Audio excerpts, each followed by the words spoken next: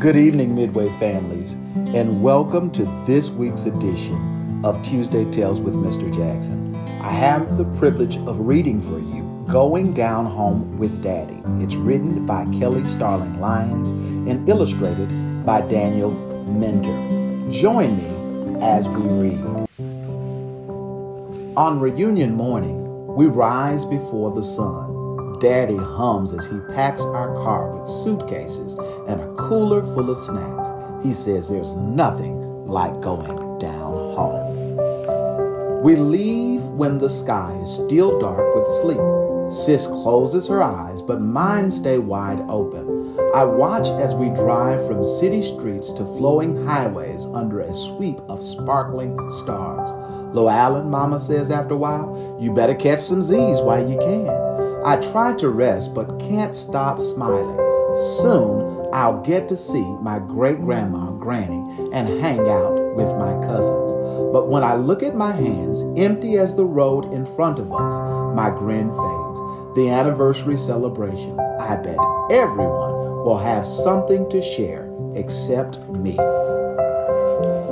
I doze off in a cloud of worry and wake to sunbeams tickling my face. I squint and see a familiar John Deere tractor store and a gray silo standing at attention. We're almost there. Sis and I sit up straight as pines when we see Granny's wood frame house. She's right where we left her after last year's reunion, scattering corn for her chickens like tiny bits of gold. There she is, Sis shouts. Granny spreads her arms wide and wraps us both inside. My, my, she says, and showers our cheeks with peppermint kisses. I missed you so. All afternoon, a parade of family comes home. Grandma Loretta and Grandpa James, aunts and uncles, and more cousins than I can count. Got a head just like your daddy, Uncle Jay teases me. Daddy's eyes twinkle. Now I know you're not talking about heads. Can't take them anywhere, Grandma Loretta says, laughing. While the grown ups catch up, we cousins run to the fence to visit Granny's cows and goats. You doing something for the celebration? Isaiah asks sis singing Granny's favorite song. His eye is on the sparrow, she says. How about you? I'm reading Mother to Son by Langston Hughes. I made a scrapbook in Granny's favorite color, blue, Devin says. You got something, Lil Allen? I kick a stone and my eyes start to burn. Ready for a tractor ride, sis asks, saving me from having to answer. I swallow hard and climb into the trailer with sis and mama. I lean against the hay as Daddy drives us past the smokehouse and fishing pond and rumbles by a field dotted with puffs of white. Cotton has been on this land a long time, just like us, Daddy says. Pa would drive our Uncle Jay and me on the tractor, just like this one. Look to your left, Pa would say. Look to your right. The land just seems to go on forever. Everything you see, Pa told us, is ours. I think about what Daddy said and sit up tall. Pa is gone, but this is our time to come together and remember. Daddy's words make me want to share more than ever. When the ride stops, I ask him what to do. Think with your heart, little Allen, Daddy says. That's what Pa always told me. Just then, we hear Granny. Come on and get this food while it's hot, she calls from the porch. We dash inside. The dining room overflows with love made dishes smoked turkey, collards, mac and cheese, okra and tomatoes, and biscuits oozing with mayhaw jelly, just the way Daddy likes. Hand in hand, we create a ring inside the house Pa built for Granny.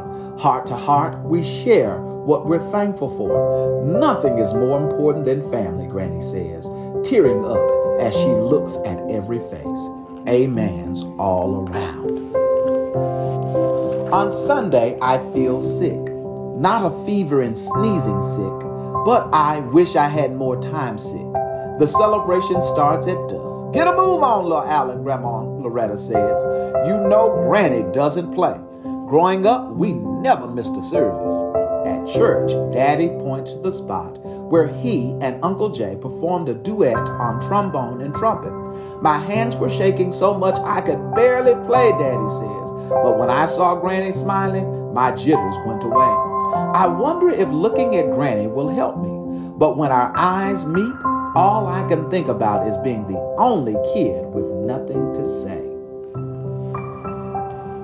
After service, we head back to Granny's and change into our reunion t shirts. Generations of our family small smile from every wall. Mama, sis, and I peer at black and white pictures of Pa and Granny. Their eyes, brave and bold, remind me of Daddy's. You have their eyes too, Mama says. That's when it comes to me. I think about everything I see while I'm here.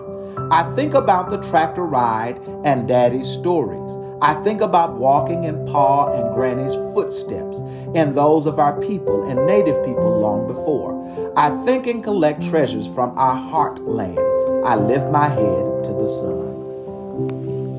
Just before satin night falls, we sit outside on porch steps in metal lawn chairs.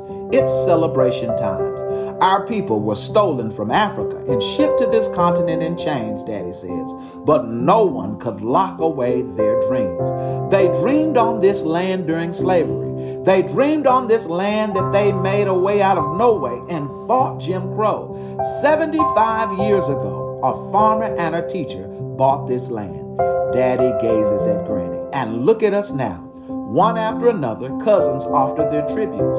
Sis songs makes Granny's eyes shine. Isaiah poems get everyone's nodding. Then I step forward. I feel like the spotlight is blazing just on me. I look down and say nothing. It's okay, little Allen, she whispers. I lift my head and see gleaming smiles. I try again. Cotton for the quilts Granny made to keep her children warm, I say, holding a white cloud in my fingers. A pecan for trees Pa planet, and all the kids love to climb. I pinch dirt and let it rain to the ground, and earth for the land that's ours as far as we can see. Fireflies wink and whirl in a carnival around us. That's all right, I hear Granny say. Daddy flashes a thumbs up. I grin up at the moon. It glows back at me. We're a mighty family. Daddy booms, mighty, we roar back.